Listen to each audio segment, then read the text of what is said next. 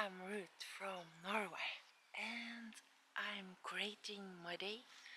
It's my catch your day or create your carpe diem. I'm creating my day. Catch your day or create your carpe diem. I'm Ruth from Ruth's Carpe Diem. And today I wanted to film for you something very special. And that is, it is something about caring. It's something that I have longing to see for a long, long, long time. But I never had the chance to do it.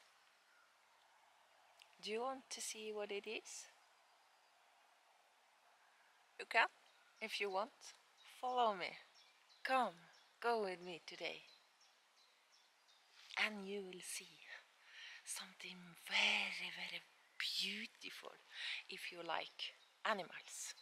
I'm going to pick up my girlfriend that have moved to my community and she's going with me today.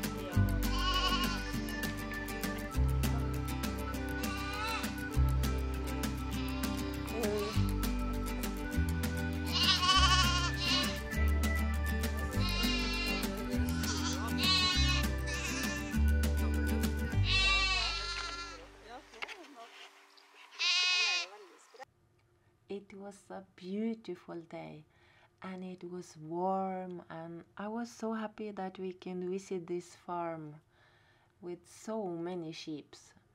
Uh, I think it was uh, 30 or 33 uh, little lamb that has been born and it was also a newborn lamb but uh, we couldn't disturb the uh, mother and the little lamb but it was so fun.